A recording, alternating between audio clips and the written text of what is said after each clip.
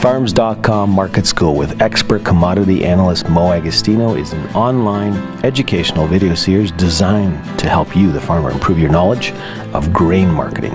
Farms.com Market School is brought to you by DeKalb Brand Seeds. DeKalb, growing confidence.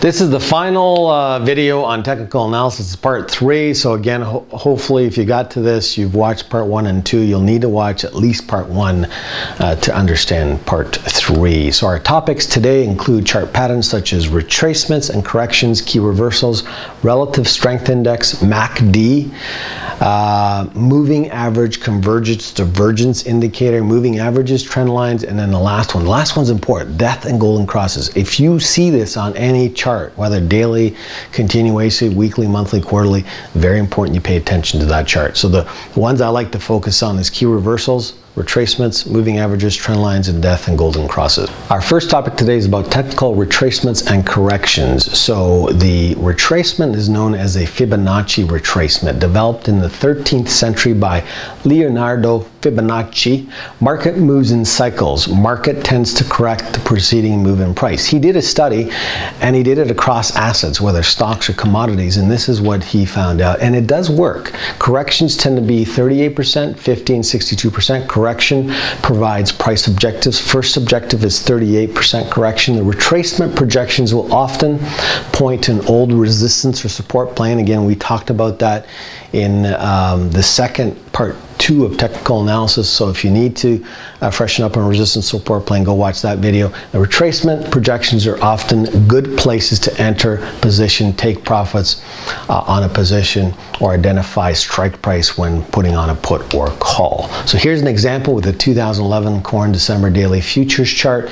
And again, you're going to need a, a live quote system to create the Fibonacci retracement. It's a, a tool that you can use on a chart and so so the red lines are, are the um, 38 50 62 percent retracement. So what happens is the market's rising all of a sudden it starts to fall. Maybe you missed an opportunity. You didn't sell at the very high. You're looking to see whether the market can bounce um, back to some of those highs and you create that Fibonacci retracement to identify those levels of maybe where you want to put in that short or sell some bushels with your local elevator.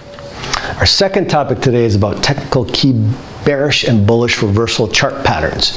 So a bearish key reversal, as you can see in our diagram here, um, uptrending sets a higher high and a lower low than the previous day and a close that's lower than the previous day. So you can see at the very far um, right, trading days wider than the previous day and the close is lower. That's a bearish key reversal. The opposite of that is a bullish key reversal. So in our diagram, you can see at the very far right, the trading range is wider than the previous day, but the close is higher. These are key. Now, they can also be false signals. So just seeing this chart pattern doesn't mean you need to do something. You need to confirm that change in trend. So a bullish key reversal means that the market was falling all of a sudden, maybe it's hit a bottom and it's gonna start to go back up. Just because you get it doesn't mean it's going back up. You need to confirm it. Here's an example of the 2011 December Chicago Wheat Daily Futures chart, and I've circled the uh, bearish key reversal, and you can see there that the market continues to fall lower. At some point, it hits a bottom. It's actually bouncing off of the 200-day moving average, the red line. It goes back to that resistance plane, bounces off of that to the downside, and then over time, it continues lower. Here's an example with the 2011 November soybean daily futures chart. This is a bullish key reversal. I've circled the bullish key reversal in the chart. And the minute that you get that, the market continues to move higher. You get the higher closing highs and away you go. Our third topic today is about RSI, Relative Strength Index. Here's an example with the 2011 December Kansas City daily futures chart. We've highlighted the red line, the Relative Strength Index. It's a popular momentum measure developed by Welles Wilder in 1978. It's a mathematical formula that uses recent future prices to assess the strength of a trend. It measures the internal strength of a single commodity a measure of short-term momentum. Values around 50 indicate there is no trend and no momentum. Values above 50 indicate there's a trend upward during the past 14 days. And the higher the value, the higher the momentum of the trend. Uh, values below 50 indicate there's a downward trend. The lower the value, the stronger the momentum downward. So when you're getting it moving above 50, it can, it can get into 75. The value gets as high as 100. If you're at 100, it can stay there for some time and vice versa. If it falls below 50 and goes to zero, it can stay at zero for some time. So just because the market may look like it's topping or bottoming, market can stay there for some time. Price and RSI divergence suggests a price reversal. RSI gives early warnings. RSI alerts producers to opportunities keep RSI updated. So in this example, you can see that the RS, RSI follows the market. The market's creating a double top. When we talked about that in uh, part two of uh, technical analysis. Uh, and you can see the RSI is almost creating the same double top. So here's another example with the 2011 November canola daily futures chart. And at the very bottom, we've highlighted um, where the market gets to 75, which means it's over uh, bought, or if it gets to 25, below that uh, 50, it becomes an oversold market. Our fourth topic today is about MACD, Moving Average Convergence Divergence Indicator. Here's an example with the 2011 December uh, OAT Daily Futures Chart. And again, I've highlighted that uh, MACD. Um, a popular momentum measure developed by Gerald Appel in the late 70s. Moving average convergence divergence is one of the simplest and most effective momentum indicators available. So the RSI and this MACD are momentum indicators.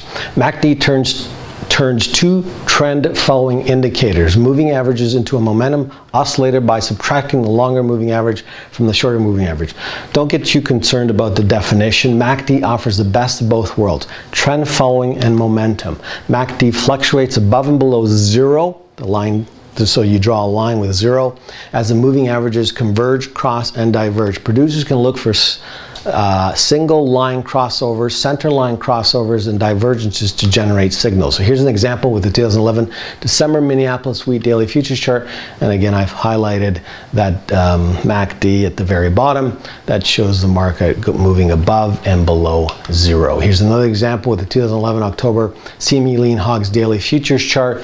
And again, um, I've highlighted where the, the MACD starts to rise and that's when futures start to rise as well. Our first, fifth topic today is about technical moving averages, and these are key. This moving average is very key um, going forward. So the moving averages, and you can see it in our 2011 December Cotton Daily Futures chart, basically they smooth out the ride. So this is known as a bar chart, whether it's a daily or continuation chart. Uh, within that bar chart, you've got those red lines, the blue lines, the green, and the purple. The red is the 200-day moving average. The 100, the purple is the 100-day moving average.